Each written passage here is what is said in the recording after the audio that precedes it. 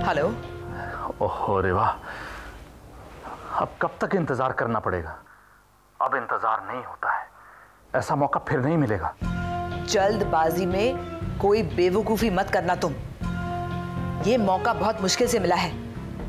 तुम्हें सही वक्त के लिए जरा सा और इंतज़ार करना पड़ेगा बस। रेवा मेरा तो दिल करता है कि देखो अब अकेले हैं दोनों। उनका काम अभी तमाम कर देते हैं। हाँ तो कर दो ना। जाके कर दो। लेकिन कोई मुसीबत हो गई तो मुझे याद मत करना तुम समझ गए तुम? अरे हमें काम इस तरह से करना है कि सांप भी मर जाए और लाठी भी ना टूटे। ओहो लेकिन लेकिन लेकिन कुछ नहीं। थोड़ा सा पेशेंस रखो। अरे इतनी मेहनत और वक्त के बाद हमें ये मौका मिला हुआ है। थोड़ी सी गलती हो गई सारी मेहनत पर पानी फिर जाएगा। याद रखो जब नाच गाना शुरू होगा तब मैं तुम्हें सिग्नल करूँगी। उसके बाद ही तुम अपना काम करना।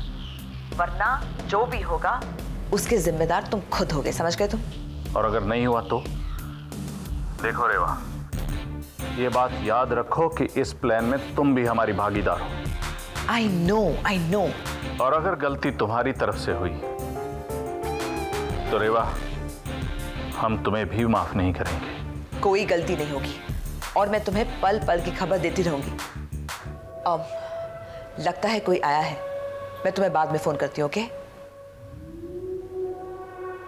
मैम आपके गेस्ट आए हाँ? तुम चलो मैं आ रही हूँ। जी मैम